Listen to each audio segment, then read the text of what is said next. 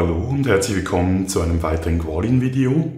In diesem Video zeige ich Ihnen, wie ich den View Controller bzw. den View realisiere.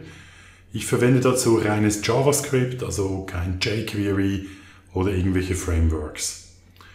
Zunächst mal habe ich die HTML-Seite gemacht, die Sie da rechts im Bild sehen, und nun erstelle ich die entsprechende JavaScript-Datei. Als erstes brauche ich einen Listener für Document Ready. Das heißt, wenn das ganze HTML geladen, soweit verarbeitet ist, dass ich beginnen kann, meine Daten zu lesen.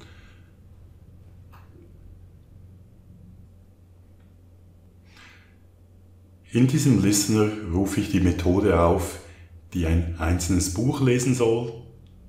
Die war ReadBook. Und ich schreibe jetzt diese ReadBook Function.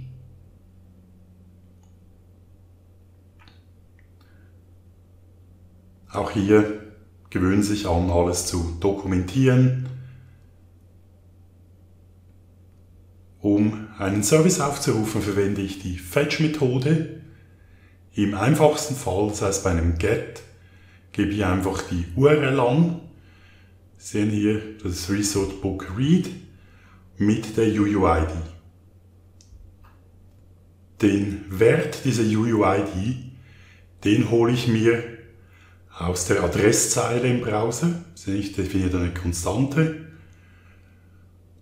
Und ich habe in meinem util.js diese Function getQueryParam programmiert, wo ich einfach einen Key angeben kann und ich den entsprechenden Wert kriege. Fetch ist eine asynchrone Funktion. Das heißt, ich muss mit then Blöcken auf das Resultat warten. Ich habe das hier mal einfach aus einem anderen Programm kopiert. Äh, Sie sehen als erstes then, da schaue ich mir die Response an, ist diese okay, gebe ich die Response weiter an den nächsten then-Block. Diese Blöcke, die werden da eine nach dem anderen durchgeführt. Im Fehlerfall gebe ich einfach im Log bzw. Konsole des Browsers die Meldung aus. Der zweite then-Block äh, liest die JSON-Daten und wandelt das Ganze in JavaScript-Objekte um. Und diese Daten schicke ich dann an die Function showBook, die ich als nächstes programmiere. In showBook nehme ich nun die ganzen Daten aus diesem JavaScript-Objekt Data und fülle es in die entsprechenden Elemente meines Formulars ab. Also mit Document GetElement by ID hole ich mir das Element und den Value fülle ich aus dem Data-Objekt ab. Das Ganze copy-paste ich jetzt einfach für alle weiteren Attribute und passe dann entsprechend ID und Attributsname innerhalb von Data an. Ja, damit ist meine Function eigentlich bereit, um getestet zu werden. Und Sie sehen es hier, das Buch wird angezeigt, einzig das Dropdown mit dem Verlag. Da fehlen jetzt natürlich noch die ganzen Verlagswerte. Entsprechend brauche ich jetzt eine zweite Function, die ganzen Verlage liest und ins Dropdown einfügt. Nenne diese Function read publishers.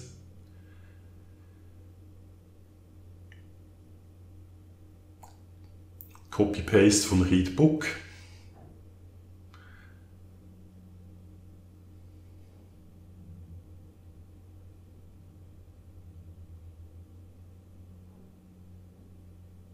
Die Book-UUID brauche ich hier nicht. URL passe ich entsprechend an.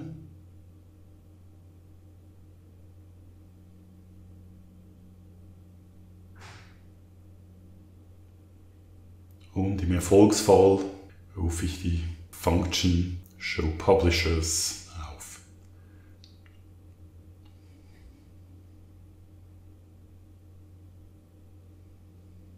Diese Function Show Publishers hat die Aufgabe, durch das Array mit den Publishers durchzugehen. In JavaScript haben wir keine Array-Lists oder Hashmaps, sondern einfache Arrays und die Elemente in meinem Dropdown einzufügen. Dazu hole ich mir mal zuerst das Dropdown-Element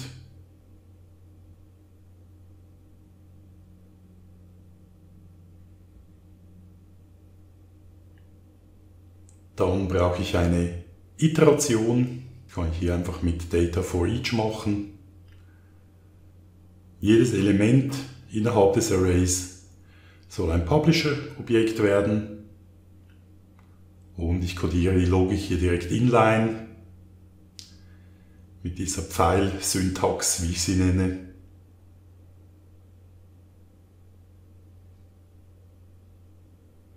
Ich erstelle ein neues Option-Element.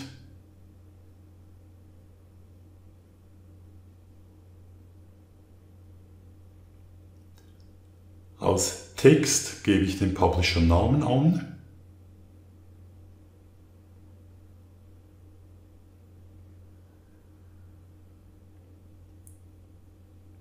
Und ich füge das meinem Dropdown namens Option hinzu. Nicht zu vergessen, ich brauche noch auch den Wert. Das ist dann die Publisher UUID.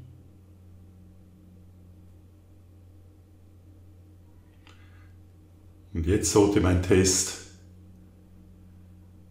das Dropdown korrekt anzeigen. Ganz genau so funktioniert das. Damit ist das Erstellen des Buchformulars fertig. Als nächstes möchte ich die Bücherliste erstellen. Ich übernehme da einen schönen Teil einfach aus der anderen JavaScript-Datei.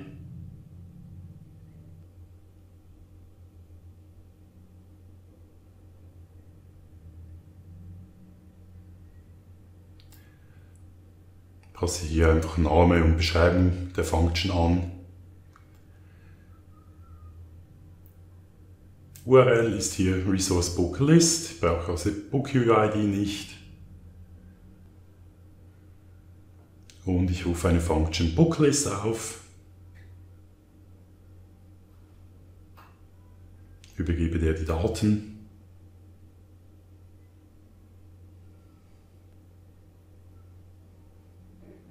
Auch hier werde ich mit einer Iteration durch das Array der Bücher gehen.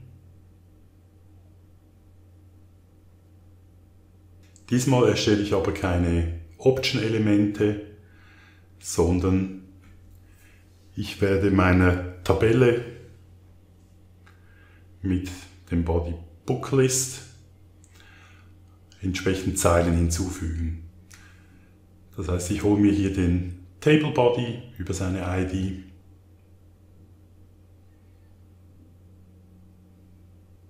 Für jedes Buch erstelle ich eine neue Tabellenzeile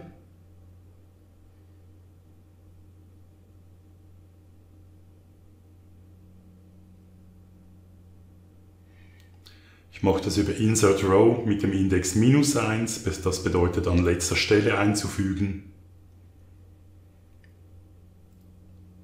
Innerhalb der Zeile füge ich dann eine Zelle ein, auch die jeweils an, erster, an letzter Stelle.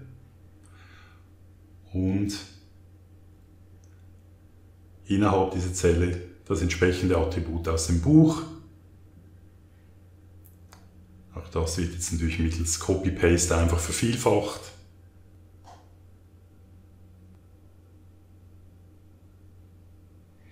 Beim Publisher muss ich berücksichtigen, dass selber auch wieder ein Objekt, deshalb Publisher und innerhalb dem Publisher. Ja, das müsste eigentlich schon gewesen sein. Kann das hier nun austesten und sehe da, meine Bücherliste wird angezeigt. Als nächstes will ich den Speichern-Button meines Formulars aktivieren. Dazu brauche ich einen Event Listener, der auf den Submit-Event des Formulars reagiert.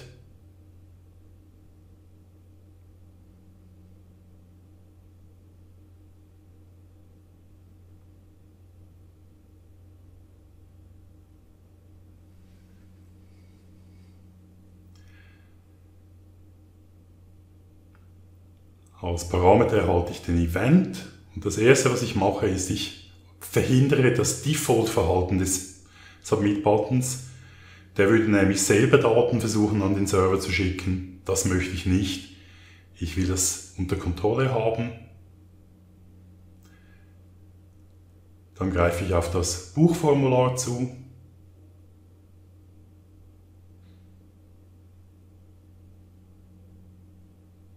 und muss nun die Daten innerhalb dieses Formulars umformen, dass ich sie dann in einem Request mitschicken kann.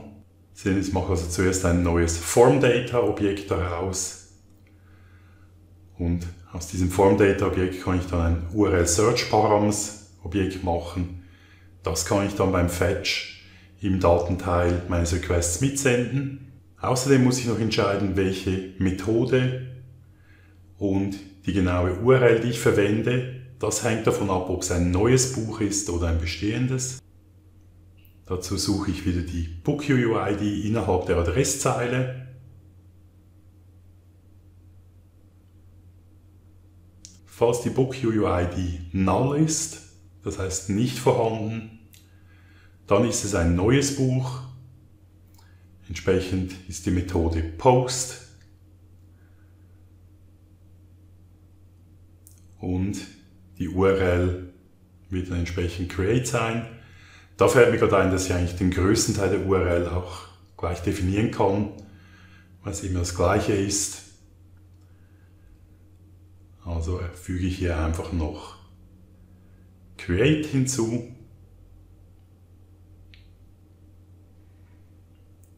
Wenn eine BookUID existiert, dann ist sie Put-Methode und die URL hat am Ende Update.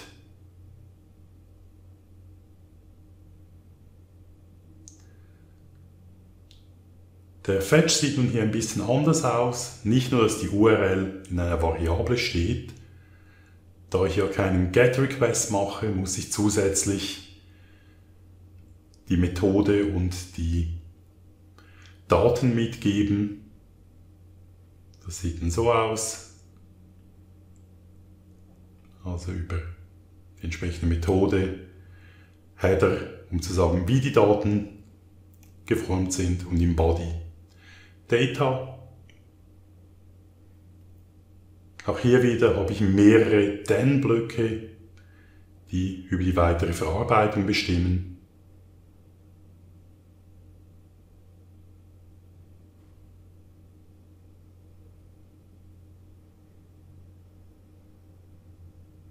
Ich ändere jetzt hier mal den Titel, klicke auf Speichern. Sie sehen, ich kann da jetzt mit dem Debugger ein bisschen verfolgen, was eigentlich hier geschieht.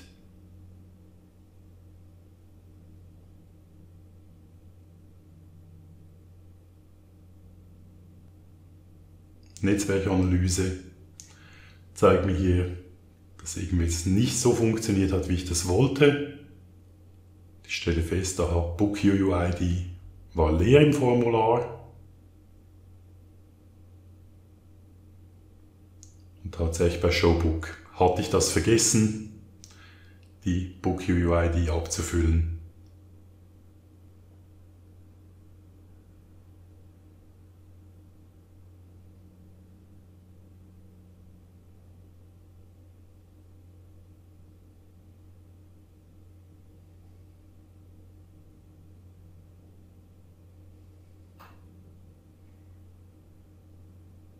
Ich wiederhole hier meinen Test.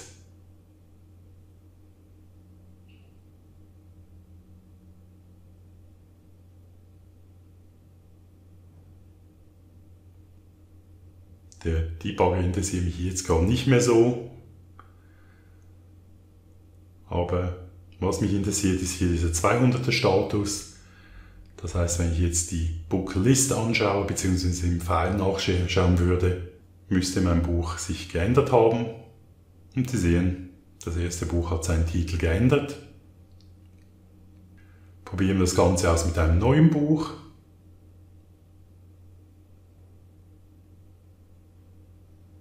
Speichern. Status 200 sieht gut aus. Und das Buch wurde eingefügt. Das war ein Erfolg. Zuletzt möchte ich jetzt in mein Bookshelf View, also bei der Liste, noch zwei Buttons hinzufügen.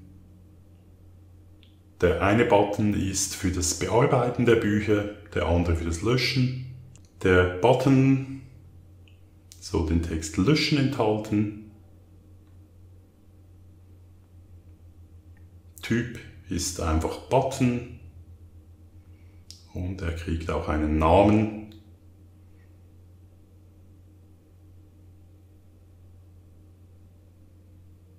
Als spezielles Attribut setze ich dieses Data Book UUID mit der UUID. Wenn Sie eigene Daten in HTML-Elemente verpacken wollen, macht man das immer über Attribute, die mit Data- beginnen. Zuletzt Event Listener für diesen Button. Wenn man draufklickt, soll die Methode DeleteBook aufgerufen werden. Und ich füge diesen Button als letzte Zelle innerhalb der Zeile ein. Schreibe noch diese Function Delete Book.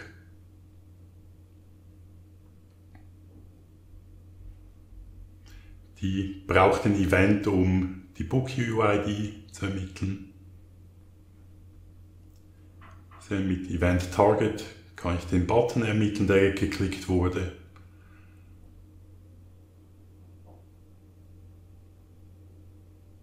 Und jetzt kann ich über getAttribute den entsprechenden Wert der UUID ermitteln. Okay, man sollte sie zweimal gleich schreiben. Das heißt, damit weiß ich jetzt, welche UUID gefragt ist. Setze jetzt hier einen Fetch Request ab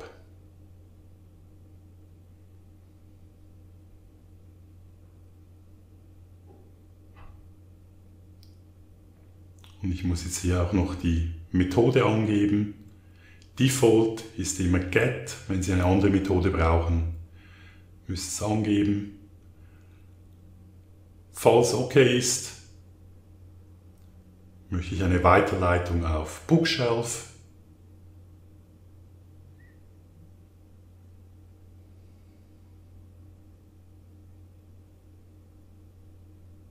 Und weitere Verarbeitung brauche ich nicht, also lösche ich da die überzähligen Den-Blöcke.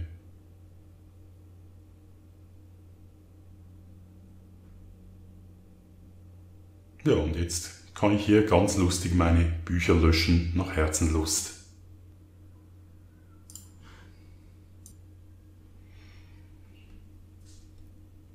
Was ich jetzt hier im Video nicht mehr zeige, ist der Bearbeiten-Button.